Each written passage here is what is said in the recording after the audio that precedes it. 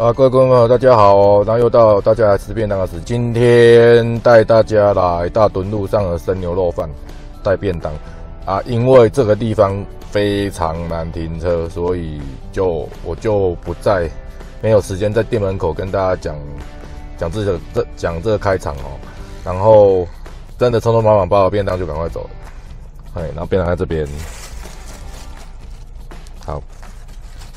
那今天是包牛肉饭哦，那等一下回到家再来帮大家做开箱哦。好，那我们待会见，拜拜。好，那我们已经把便当买回家了哈。那今天，诶，因为这一家那边大墩路真的不好停车啊啊，所以冰冰箱刚刚只好在车上跟大家做开场哈啊，因为真的从车子停下来连火都不敢熄哦。嘿，到买买买个便当上车，才三分钟。对，因为那个大墩路大家知道，警察总局在旁边呢。嘿，不要跟他开玩笑。好，那我们现在就来看这一家生牛肉饭哈，排骨饭专卖店。那这一家在大墩路上，哦，这个我以前都介绍过了。哦，那目前目前为止，呃，我介绍过几家牛肉饭里面，这这一家是大概算。嗯，应该应该是最便宜的，哎不对，啊那个金大元好像一百块，哎，然后它是一百一，好，那其他像丸松啊，然后那个三，哎，三木啊，那个都都是一百五以上，对，好，这个牛肉，那它的牛肉蛮蛮多的，哦，还有附一碗汤。今天是好像是苦瓜苦瓜汤，好，然后再看他们饭盒哈，来三菜三菜一饭哦，然后按照惯例，我们还是先把盖子剪掉。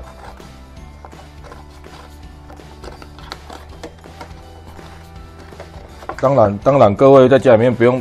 是不用把盖子剪掉了，我是方便给大家看，好，然后就这样子，这是他们家牛肉饭，好，这样一百一十块，好，那我们现在就来试吃这个牛肉饭，好，这是那个大墩路的生生牛肉饭，那首先就是按照惯例先看菜，好，今天有三，它有三菜啦，那今天有炒小白菜，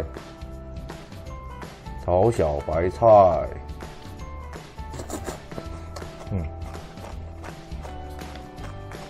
这应该是刚刚才现炒出来的。哇，有豆干，这个应该是哎豆干，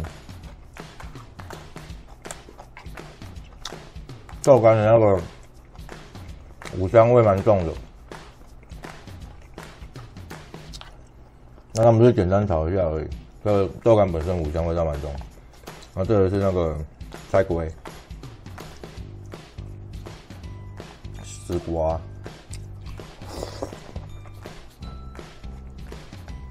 丝瓜炒红萝卜，我真的第一次吃到。一般都是炒葱啊，不过这边葱太贵了。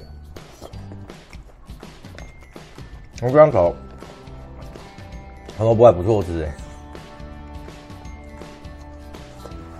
更甜。好，那看白饭哦。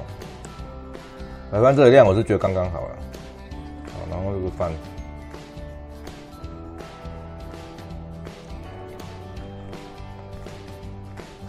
嗯，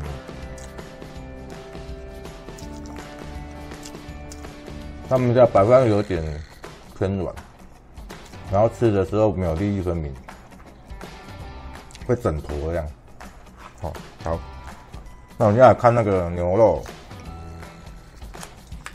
看他们牛肉，那我就切，把镜头切下来哈。然后这牛肉哈，来，它有白萝卜，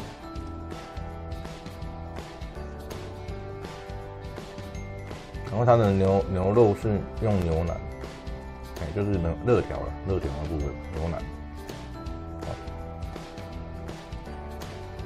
后里面蛮多块的，这这是满满的，这里面满满都是肉，还有还有萝卜两块，还有还有萝卜，然后那个肉肉量也不少啊，如果一百一百一十块来说，它肉量很不少。好，那来吃这个牛肉。哎，首先就是这个萝卜，那他们家的萝卜也是，哎，他们家萝卜也是处理的刚刚好，就不会在卤汁里面泡太久，所以不会太咸。嗯，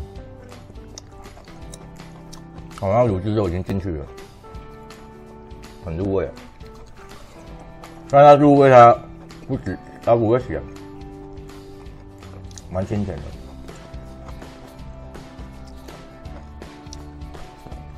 嗯，那他们的牛肉，他们的牛肉，我觉得有吃到一点点的那个柴鱼柴鱼的味道。哦，就是刚刚跟大家看那个饭，真的是一一坨。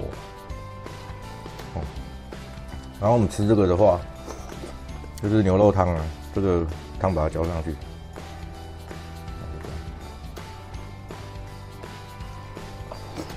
嗯，真的，要电入那个饭啊，饭的那个熟熟度，再拿捏一下，能够粒粒分明的话，这家真的是真的是无敌了。他们家的牛肉跟那个宽松啊，有的比。嗯真的，而且很软哦。你看这虽然都是瘦肉啊，都是瘦肉，很软。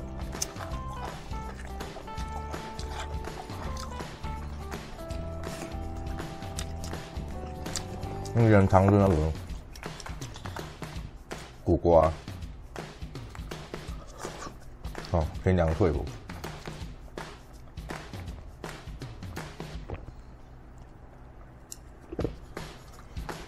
哦，那那今天真的是，呃，我开始拍便当便当特辑的，有史以来买便当买最快的一，买最快的一次，哦，没办法，那个地方真的难停车啊。如果如果大家要买的话，如果哦，桥头拜有建议桥头拜比较方便，好，好，那这是今今天的今天的那个便当，就是大墩路生牛肉饭，好的牛肉便当，然后一个是一百一十块，好，那。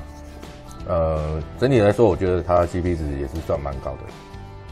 好啊，味道口味方面也是都还 OK，还不错。好啊，价位也合理。好，那今天便当介绍到这边。